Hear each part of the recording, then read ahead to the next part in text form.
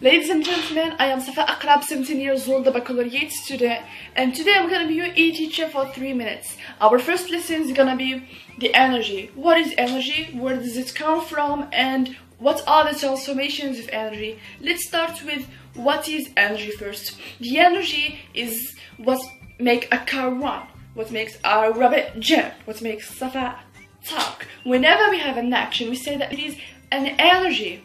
But if you are using the energy in whatever we do, even now you guys, while you're watching this video, you are using energy. So from where we got it? I mean, what are we gonna do if this energy is used up? The answer is the energy is never really used up. All that happens is just some transformations of energy. I'm gonna explain it better. Well, our Earth takes its energy from the Sun. The Sun is a huge ball of protons. I'm gonna use this to explain protons better, okay? There are protons dancing there, having fun together, who knows? Well, these protons come quickly by the way, here in the Earth, it's impossible to take two protons and make them even get closer to each other. Both of them has a positive mass, so it's impossible. But there, because of the huge heat and the huge speed they are going with, they come and hug each other. But they don't stay any more protons. One of them is transformed into a neutron. And what happens is that we give energy.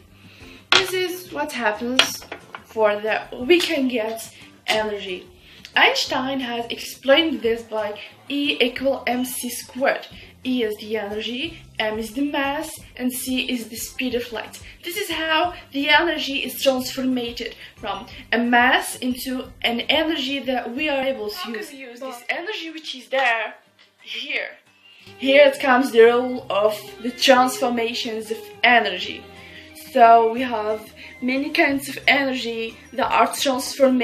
As an example, the solar energy, when it comes here into Earth, the plants use it and make glucose which is a chemical energy. We eat it and we make another kind of energy which is chemical. And when we, we move it's another kind of energy take a dynamo, make it work, and it's gonna give you an electricity. The electricity is gonna become a heat, or it's gonna become a light, or it's gonna become anything you want. I hope you liked my video, you enjoyed it, and you learned something new with me. I hope that I'm gonna have another chance to explain to you something else.